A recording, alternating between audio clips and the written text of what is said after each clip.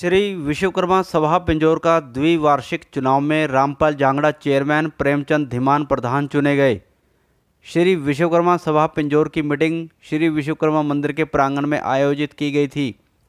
Meeting के दौरान सभा का सोमवार को द्विवार्षिक चुनाव का कार्यक्रम था, जिसमें धर्मचंद धीमान की अध्यक्षता में चुनाव करवाया गया। संस्था ने अपना लेखा जोखा प्रस्तुत किया और बाद में सभा की नई कार्यकारिणी चुनने के लिए चुनाव करवाया गया, जिसमें रामपाल जांगड़ा को श्री विश्वकर्मा सभा पिंजौर का चेयरमैन चुना गया है, जबकि प्रेमचंद धीमान को प्रधान चुना गया है। इसी तरह वरिष्ठ उप प्रधान जय भगवान जांगड़ा, ओम कुमार धीमान, इसके अलावा सतीश कुमार जांगड़ा को महासचिव चुना गया। सुरेंद्र धीमान को क्षेत्रीय सचिव, ओम प्रकाश जांगड़ा सचिव, सुरेंद्र कुमार जांगड़ा कैशियर, राजेंद्र धीमान ऑडिटर चुने गए। महेंद्र झांगड़ा स्टोर कीपर सीताराम धीमान और अमित कुमार झांगड़ा प्रचार सचिव चुने गए हैं।